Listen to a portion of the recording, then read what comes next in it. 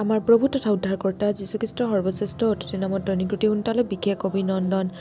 আজি তেৰ মাৰ্চ দিন বুধবাৰ দুহেজাৰ চৌবিছ আজি যি বিষয় পাঠ কৰিম যি বিষয় এয়া হ'ল স্বৰ্গীয় আশীৰ্বাদ। আহক আমি চাওঁ পবিত্ৰ শাস্ত্ৰীয়ৰ বিষয়ে কি কৰিম পাঠ কৰিম। মঠিয়ালিকা পাঁচ অধ্যায় দহ পদ। আহক আমি পাঠ কৰোঁ হওক। ধাৰ্মিকতাৰ কাৰণে তাৰণা পোৱাসকল ধন্য কিয়নো স্বৰ্গ ৰাজ্য তেওঁলোকৰ। এজন মনোবিজ্ঞানীয়ে কৈছিল আপুনি নিজকে সলনি কৰিব পাৰে আৰু আপুনি আপোনাৰ জীৱনত এক অগ্ৰগতি আনিব পাৰে। তোমাৰ উচ্চতা আৰু সন্মান তোমাৰ হাতত। আন এজন মনোবিজ্ঞানীয়ে এইদৰে কয় যদি কোনো দুষ্ট ব্যক্তিয়ে ভাল মানুহলৈ পৰিণত হ'বলগীয়া হয় তেন্তে তেওঁ প্ৰতিদিনে পুৱা আইনাখনৰ সন্মুখত থিয় হৈ আইনাখনৰ আগত কথা ক'ব লাগে যে তেওঁ প্ৰতিদিন সলনি হৈ আছে। যদি তেওঁ দৈনিক এই কাম কৰি থাকিব তেন্তে তেওঁ নিশ্চয় ভাল মানুহ হৈ পৰিব।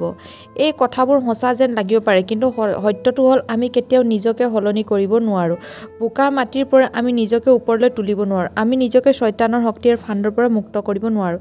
কেৱল খ্ৰীষ্টহে আমাক সলনি কৰিব পাৰে আৰু কেৱল তেওঁহে তোমাৰ হাত ধৰি আমাক ওপৰলৈ তুলিব পাৰে।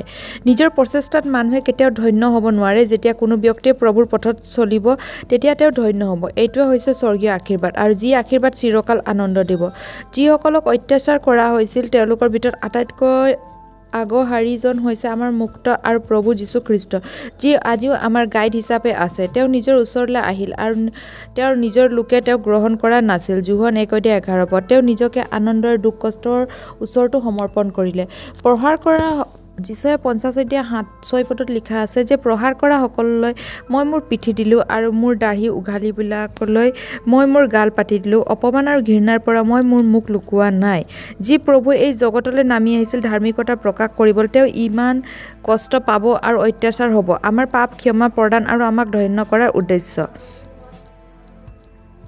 প্ৰভু যীশুৱে কৈছিল মতি অধ্যায় বাইছ পদত যে শিষ্য কেতিয়াও গুৰুতকৈ উৰ্ধত নহয় ডাকো প্ৰভুতকৈ উৰ্ধত নহয়। সেই কালত ক্লেক ভোগ কৰা কৰিবলৈ মানুহবোৰ তোমালোকৰ শত্ৰুৰ হাতত সুধাই দিব। বোধ কৰিও মোৰ নামৰ কাৰণে তোমালোকৰ সকলো জাতিৰ ঘৃণাৰ পাত্ৰ হ'বা। মঠি এই অধ্যায় নপদ আপুনি যদি পৃথিৱীৰ হ'লহেঁতেন তেন্তে পৃথিৱীখন নিজৰ ভাল পালহেঁতেন। তথাপি তোমাৰ জগতৰ নহয় কিন্তু মই তোমালোকক জগতৰ পৰা বাছি লৈছোঁ। সেয়ে জগতখনে তোমালোকক ঘৃণা কৰে। যদি তেওঁলোকে মোক অত্যাচাৰ কৰিলে তেন্তে তেওঁলোকে তোমাক অত্যাচাৰ কৰিব। জোহন পোন্ধৰ এতিয়া ঊনৈছ বিছ পদ।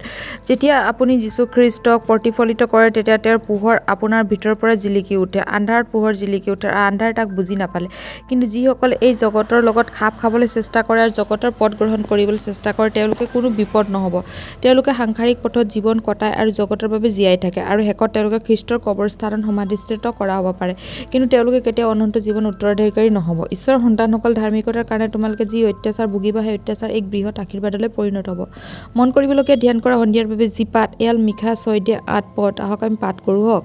হে মনুষ্য জিহুৱালৈ যি ভাল সেই বিষয়ে তোমালোকক কৈছিল। আৰু জিহুৱাই তোমালোকৰ পৰা এইবোৰ বিচাৰে। ন্যায়ৰূপ কাৰ্য কৰা দয়াশীলতাক ভাল পোৱা আৰু তোমালোকে ঈশ্বৰৰ সৈতে নম্ৰভাৱে চলা।